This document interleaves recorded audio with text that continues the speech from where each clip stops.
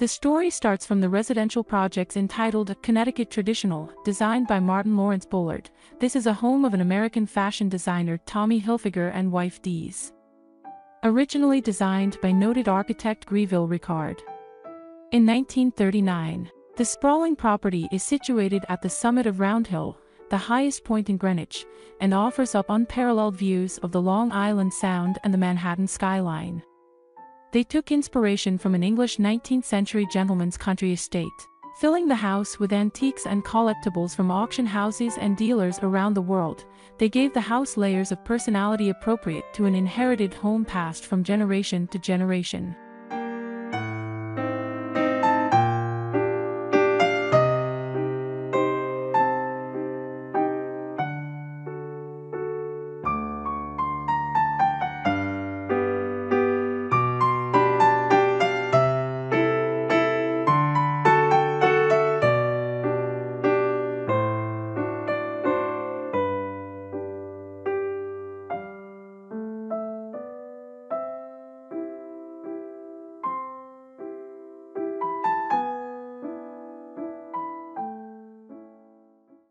The main house measures an impressive 13,344 square feet with six bedrooms and seven full and three half bathrooms, six fireplaces, and a combination of hardwood and limestone floors throughout.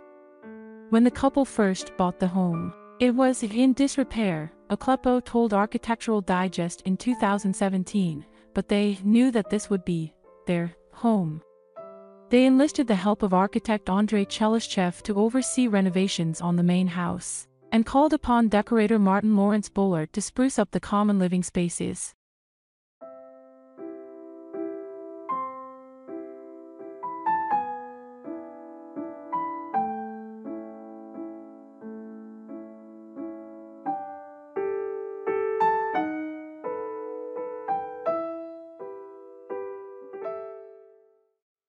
You can't have a house like this and make it Americana, Hilfiger told AD at the time, referencing his own signature aesthetic.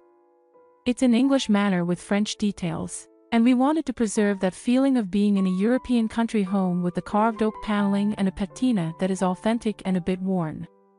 Outside the main house, the property includes sculptural hedges, water fountains, a topiary garden, and a tennis court, as well as other amenities all designed by Miranda Brooks.